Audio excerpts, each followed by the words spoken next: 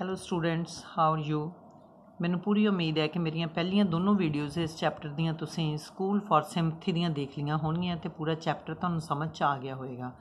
ਤੇ ਅੱਜ ਆਪਾਂ ਇਸ ਦਾ ਇੱਕ ਵੱਡਾ ਕੁਐਸਚਨ ਜਿਹੜਾ ਕਿ ਪੇਪਰ ਦੇ ਵਿੱਚ ਆਪਾਂ ਨੂੰ 5 ਮਾਰਕਸ ਦਾ ਆਉਂਦਾ ਹੈ। ਕੁਐਸਚਨ ਇੱਕੋ ਹੀ ਹੈ ਬਟ ਚਾਹੇ ਉਹ ਥੀਮ ਆ ਜਾਏ ਇਸ ਚੈਪਟਰ ਦਾ, ਚਾਹੇ ਕਰੈਕਟਰ ਸਕੈਚ ਆ ਜਾਏ ਆਪਾਂ ਇੱਕ ਹੀ ਕੁਐਸਚਨ ਯਾਦ ਕਰਨਾ ਤੇ ਆਪਣਾ ਕੰਮ ਚੱਲ ਜਾਏਗਾ। ਜੇ ਆਪਾਂ ਨੂੰ ਥੀਮ ਆ ਜਾਂਦਾ ਹੈ ਪੇਪਰ ਦੇ ਵਿੱਚ, ਤਾਂ ਜਿਹੜਾ ਇਹ ਕੁਐਸਚਨ ਮੈਂ ਲਿਖਿਆ ਹੋਇਆ, ਇਹਨੂੰ ਇਸੇ ਤਰੀਕੇ ਦੇ ਨਾਲ ਲਿਖ ਦੇਣਾ ਤੇ ਜੇਕਰ ਤੁਹਾਨੂੰ character sketch of Miss Beam ਆ ਜਾਂਦਾ ਹੈ, ਤਾਂ ਆਹ ਪੈਰਾ ਇੱਥੋਂ ਸਟਾਰਟ ਕਰਕੇ ਇਹਨੂੰ ਪਹਿਲਾਂ ਲਿਖ ਲੈਣਾ ਤੇ ਆਹ ਜਿਹੜਾ ਪਹਿਲਾ ਪੈਰਾ ਸੀ, ਇਹਨੂੰ ਬਾਅਦ ਵਿੱਚ ਲਿਖ ਦੇਣਾ ਬਸ ਇੰਨਾ ਹੀ ਫ਼ਰਕ ਹੈ, ਬਾਕੀ ਸਾਰਾ ਠੀਕ ਹੈ। ਖਾਸ ਕਰਕੇ ਇਹ ਵੀਡੀਓ ਮੈਂ ਖਾਸ ਕਰਕੇ ਉਹਨਾਂ ਬੱਚਿਆਂ ਦੇ ਲਈ ਬਣਾ ਰਹੀ ਹਾਂ। ਜਿਹੜੇ ਬੱਚੇ ਅਕਸਰ ਹੀ ਕਹਿੰਦੇ ਆ ਕਿ ਸਾਡਾ ਇੰਗਲਿਸ਼ ਵਿੱਚ ਹੱਥ ਬਹੁਤ ਟਾਈਟ ਹੈ ਇੰਗਲਿਸ਼ ਸਾਨੂੰ ਬਹੁਤ ਔਖੀ ਯਾਦ ਹੁੰਦੀ ਹੈ। ਤਾਂ ਮੇਰੀ ਕੋਸ਼ਿਸ਼ ਹੈ ਕਿ ਇਹ ਕੁਐਸਚਨ ਮੈਂ ਤੁਹਾਨੂੰ ਨਾਲ ਦੀ ਨਾਲ ਯਾਦ ਵੀ ਕਰਵਾ ਦੇਵਾਂ। ਜਿਵੇਂ ਜਿਵੇਂ ਮੈਂ ਬੋਲੂੰਗੀ, ਤੁਸੀਂ ਇਹਦੇ ਨਾਲ ਨਾਲ ਬੋਲਣਾ ਹੈ ਤਾਂ ਕਿ ਤੁਹਾਨੂੰ ਇਹ ਕੁਐਸਚਨ ਯਾਦ ਹੋ ਜਾਏ।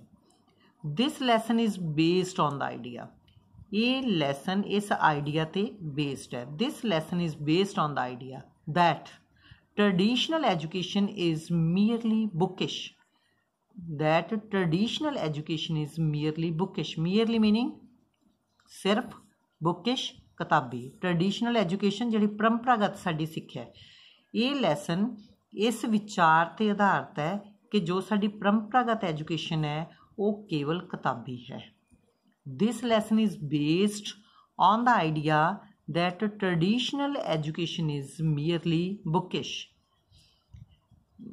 it does not fulfill the needs of society it does not fulfill the needs of society needs of society society ਦੀਆਂ ਜ਼ਰੂਰਤਾਂ ਇਹ society ਦੀਆਂ ਜ਼ਰੂਰਤਾਂ ਨੂੰ ਪੂਰਾ ਨਹੀਂ ਕਰਦੀ fulfill ਹੁੰਦਾ ਪੂਰਾ ਕਰਨਾ it does not fulfill the needs of society nor it produces good citizens ਅਤੇ ਨਾ ਹੀ nor nor it produces good citizen ਤੇ ਨਾ ਹੀ ਵਧੀਆ ਸਿਟੀਜ਼ਨ ਪੈਦਾ ਕਰਦੀ ਹੈ ਸੋ ਇਹ ਦੋਨੋਂ ਲਾਈਨਾਂ ਤੁਸੀਂ ਇੱਕ ਵਾਰ ਫੇਰ ਮੇਰੇ ਨਾਲ ਰਿਪੀਟ ਕਰੋਗੇ this lesson is based on the idea that traditional education is merely bookish it does not fulfill the needs of society nor it produces good citizens The real aim of this school ਇਸ school the real aim is to fill humanity in children to fill ਭਰਨਾ humanity ਮਾਨਵਤਾ The real aim of this school is to fill humanity in children. ਇਸ school ਦਾ ਅਸਲੀ ਮਕਸਦ ਵਿਦਿਆਰਥੀਆਂ ਦੇ ਵਿੱਚ ਬੱਚਿਆਂ ਦੇ ਵਿੱਚ ਮਾਨਵਤਾ ਨੂੰ ਭਰਨਾ ਹੈ the real aim of this school is to fill humanity in children and make them good citizens ਤੇ ਉਹਨਾਂ ਨੂੰ ਮੇਕ ਬਣਾਉਣਾ them ਉਹਨਾਂ ਨੂੰ ਤੇ ਉਹਨਾਂ ਨੂੰ ਅੱਛੇ ਸਿਟੀਜ਼ਨ ਬਣਾਉਣਾ ਹੈ you can repeat this lesson is based on the idea that traditional education is merely bookish it does not fulfill the needs of society nor it produces good citizens.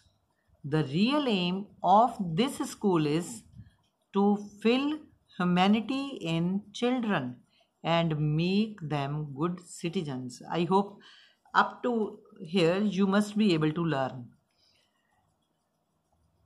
Miss Beam is a kind and middle aged woman. Miss Beam kind ਤੇ middle aged ਅਧਖੜ ਉਮਰ ਦੀ lady ਹੈ she is a woman of deep understanding ਉਹ deep understanding ਵਾਲੀ ਹੈ ਮਤਲਬ ਉਹ ਦੂਸਰੇ ਨੂੰ ਅੱਛੀ ਤਰ੍ਹਾਂ ਸਮਝਣ ਵਾਲੀ ਹੈ ਐਂਡ origignal ਥਿੰਕਿੰਗ ਉਹ ਇੱਕ ਡੀਪ ਅੰਡਰਸਟੈਂਡਿੰਗ ਵਾਲੀ ਤੇ origignal ਥਿੰਕਿੰਗ ਵਾਲੀ ਲੇਡੀ ਹੈ she is a woman of deep understanding and origignal thinking now what is the meaning of origignal origignal meaning ਹੁੰਦਾ ਹੈ ਉਹ ਵਿਅਕਤੀ ਜੋ ਕੁਝ ਨਵਾਂ ਕਰਦਾ ਹੈ ਇਨੋਵੇਟਿਵ ਕਰਦਾ ਹੈ, ਜਿਹਦੇ ਅੰਦਰ ਕ੍ਰੀਏਟੀਵਿਟੀ ਹੁੰਦੀ ਹੈ, ਤਾਂ ਉਸ ਨੂੰ ਆਪਾਂ origignal ਥਿੰਕਿੰਗ ਕਹਿੰਦੇ ਆ ਤਾਂ ਉਹ ਜਿਹੜੀ ਲੇਡੀ ਹੈ ਡੀਪ ਅੰਡਰਸਟੈਂਡਿੰਗ ਤੇ origignal ਥਿੰਕਿੰਗ ਵਾਲੀ ਲੇਡੀ ਹੈ। She runs a school runs ਮਤਲਬ ਚਲਾਉਂਦੀ ਹੈ। She runs a school but this school is different from other schools. ਉਹ ਸਕੂਲ ਚਲਾਉਂਦੀ ਹੈ ਪਰ ਇਹ ਜਿਹੜਾ ਸਕੂਲ ਹੈ, ਉਹ ਦੂਸਰੇ ਸਕੂਲਾਂ ਦੇ ਨਾਲੋਂ ਡਿਫਰੈਂਟ ਹੈ। ਅਦਰ ਸਕੂਲਸ ਕਰ ਲਓ ਬੇਟਾ ਇੱਥੇ। Her method of teaching her methods of teaching are simple and practical ਉਹਦੇ ਪੜਾਉਣ ਦੇ ਜੋ ਤਰੀਕੇ ਹੈ, her methods of teaching are simple and practical ਉਹਦੇ ਪੜਾਉਣ ਦੇ ਜੋ ਤਰੀਕੇ ਹੈ, ਬਿਲਕੁਲ ਸਧਾਰਨ ਹੈ। ਤੇ ਪ੍ਰੈਕਟੀਕਲ ਮੀਨਿੰਗ ਵਿਵਹਾਰਿਕ ਹੈ। ਜਿਹੜਾ ਆਪਾਂ ਕਰਕੇ ਕੋਈ ਕੰਮ ਨੂੰ ਦੇਖੀਏ, ਉਹਨੂੰ ਆਪਾਂ ਪ੍ਰੈਕਟੀਕਲ ਕਹਿੰਦੇ ਆ every student in her school ਉਹਦੇ ਸਕੂਲ ਦਾ ਹਰ ਇੱਕ ਬੱਚਾ has one blind day one lame day one maim day one dumb day etcetera ਉਹਦੇ ਸਕੂਲ ਦੇ ਵਿੱਚ ਹਰ ਇੱਕ ਬੱਚੇ ਦਾ ਇੱਕ ਦਿਨ ਬਲਾਈਂਡ ਡੇ ਹੁੰਦਾ ਹੈ, ਜਦੋਂ ਨੇ ਅੱਖਾਂ ਤੇ ਪੱਟੀ ਬੰਨਣੀ ਹੈ, ਇੱਕ ਦਿਨ ਲੇਮ ਡੇ ਜਦੋਂ ਨੇ ਆਪਣੀ ਲੱਤ ਨੂੰ ਟਾਈ ਕਰਨਾ ਲੰਗੜਿਆਂ ਦਾ ਦਿਨ। ਮੇਮਡ ਡੇ ਜਦੋਂ ਕੋਈ ਸੱਟ ਵੱਜ ਜੇ ਤੇ ਕੋਈ ਅੰਗ ਜਿਹੜਾ ਹੈਗਾ ਉਹ ਡੈਮੇਜ ਹੋ ਜੇ ਉਸ ਨੂੰ ਆਪਾਂ ਮੇਮਡ ਡੇ ਕਹਿੰਦੇ ਆ। ਵਨ ਡੰਬ ਡੇ ਜਦੋਂ ਇੱਕ ਦਿਨ ਬੋਲਣਾ ਨਹੀਂ ਹੈ, ਗੂੰਗਿਆਂ ਦਾ ਦਿਨ ਹੈ ਬਾਈ ਯੂਜ਼ਿੰਗ ਹਰ ਮੈਥਡਸ ਆਪਣੇ ਮੈਥਡਸ ਨੂੰ ਯੂਜ਼ ਕਰਕੇ she wants to promote noble ideas in society by using her methods ਆਪਣੇ ਮੈਥਡਸ ਨੂੰ ਯੂਜ਼ ਕਰਕੇ। ਸ਼ੀ ਵਾਂਟਸ ਉਹ ਚਾਹੁੰਦੀ ਹੈ ਟੂ ਪ੍ਰਮੋਟ ਵਿਕਸਿਤ ਕਰਨਾ। ਕੀ ਵਿਕਸਿਤ ਕਰਨਾ? ਨੋਬਲ ਆਈਡੀਆਜ਼ ਇਨ ਸੋਸਾਇਟੀ ਉਹ ਸੋਸਾਇਟੀ ਦੇ ਵਿੱਚ ਨੋਬਲ ਆਈਡੀਆਜ਼ ਨੂੰ, ਚੰਗੇ ਵਿਚਾਰਾਂ ਨੂੰ ਵਿਕਸਿਤ ਕਰਨਾ ਚਾਹੁੰਦੀ ਹੈ ਆਪਣੇ ਮੈਥਡ ਨੂੰ ਯੂਜ਼ ਕਰਕੇ। In fact in fact meaning ਅਸਲ ਵਿੱਚ। She is an asset to society ਹੁਣ ਐਸੈਟ ਟੂ ਸੋਸਾਇਟੀ ਦਾ ਮਤਲਬ ਕੀ ਹੁੰਦਾ ਹੈ? ਕਿ ਉਹ ਵਿਅਕਤੀ ਜੋ ਕੋਈ ਇਸ ਤਰ੍ਹਾਂ ਦੇ ਕੰਮ ਕਰਦਾ ਹੈ, ਜਿਹਦੇ ਨਾਲ ਸੋਸਾਇਟੀ ਦੀ ਅਪਲਿਫਟਮੈਂਟ ਹੁੰਦੀ ਹੈ ਸੋਸਾਇਟੀ ਇੰਪਰੂਵ ਹੁੰਦੀ ਹੈ, ਤਾਂ ਅਸਲ ਦੇ ਵਿੱਚ ਆਪਾਂ ਇਹ ਕਹਿ ਸਕਦੇ ਹਾਂ ਕਿ ਉਹ ਸੋਸਾਇਟੀ ਲਈ ਐਸੈਟ ਹੈ ਸੋਸਾਇਟੀ ਲਈ ਇੱਕ ਖਜ਼ਾਨਾ ਹੈ। Parents trust her happily parents trust ਹੁੰਦਾ ਵਿਸ਼ਵਾਸ ਕਰਨਾ। Parents trust her happily parents ਜਿਹੜੇ ਖੁਸ਼ੀ-ਖੁਸ਼ੀ ਉਹਦੇ ਤੇ ਯਕੀਨ ਕਰਦੇ ਆ, ਉਹਦੇ ਕੋਲੇ ਛੱਡ ਕੇ ਜਾਂਦੇ ਆ ਬੱਚਿਆਂ ਨੂੰ। ਉਹਦੀ ਕੇਅਰ ਦੇ ਵਿੱਚ ਛੱਡ ਕੇ ਜਾਂਦੇ ਆ। She is a source of comfort to homesick children homesick children ਕਿਹੜੇ ਹੁੰਦੇ ਆ? ਉਹ ਬੱਚੇ ਜੋ ਘਰੇ ਆਉਣ ਦੀ, ਜਿਨ੍ਹਾਂ ਦੀ ਬਹੁਤ ਤੀਬਰ ਇੱਛਾ ਹੁੰਦੀ ਉਹ ਘਰ ਤੋਂ ਦੂਰ ਰਹਿ ਰਹਿ ਰਹੇ ਹੁੰਦੇ ਆ ਤੇ ਉਹ ਜਲਦੀ ਘਰ ਆਣਾ ਚਾਹੁੰਦੇ ਆ। ਉਹਨਾਂ ਨੂੰ ਆਪਾਂ ਆਪਾਂ ਉਹਨਾਂ ਨੂੰ ਹੋਮ ਹੋਮਸਿਕ ਚਿਲਡਰਨ ਕਹਿੰਦੇ ਆ। ਤਾਂ ਜਿਹੜਾ ਵੀ ਬੱਚਾ ਇਸ ਤਰ੍ਹਾਂ ਦੀ ਜਿਹਦੇ ਅੰਦਰ ਉਦਾਸੀ ਪੈਦਾ ਹੁੰਦੀ ਹੈ ਘਰੇ ਜਾਣ ਦੀ ਉਹ ਜਦੋਂ ਬੱਚਾ ਮਿਸ ਬੀਮ ਕੋਲੇ ਆਉਂਦਾ ਹੈ, ਤਾਂ ਉਹਨੂੰ ਇੱਕ ਸਕੂਨ ਮਿਲਦਾ ਹੈ।